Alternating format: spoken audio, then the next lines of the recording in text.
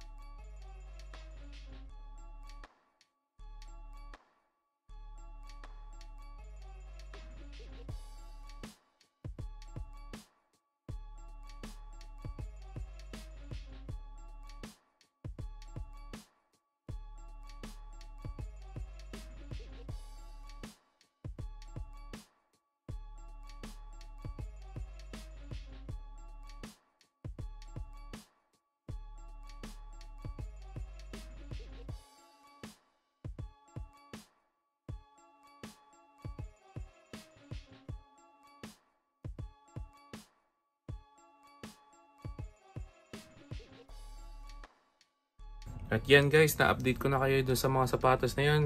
Anong sa palagay nyo? Comment down below kung okay, okay ba siya.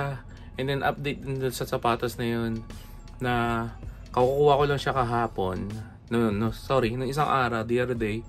So ngayon, sold na yung dalawang sapatos na yun guys. So, so what do you guys think? Okay ba yung pagkakalinis or ayos lang? Comment down below guys. Alright, peace. Next time, i-ano naman natin kung ano yung mga na-pick up natin ng mga couple of weeks, uh, couple of days. Tingnan natin, uh, papakita ko sa inyo kung ano yung mga nakuha natin, yung mga ibebenta natin na brand new. And uh, yeah. At bago ko pala makalimutan guys, pakipollow sneaker.po PAW sa Facebook page sneaker.paw. Ayan guys, maraming maraming salamat. Pakisuportahan na yan. Uh, may magaganda silang sapatos doon. Everyday may bago. Uh, authentic lahat ng sapatos doon. Katulad ng sinabi ko sa una kong video. Uh, kung gusto nyo na resibo, pwede. And then, uh, kung masyado kayong malayo, message nyo lang yung page na yun. Sasagutin kayo right away. And then, uh, sasabihin na lang sa inyo kung magkano yung mga shipping, yung total ng amount na para makuha nyo yung sapatos. Alright guys. Sana supportahan nyo sila guys. Supportahan nyo sila. Alright, peace. Sneaker.po. P-A-W. Peace.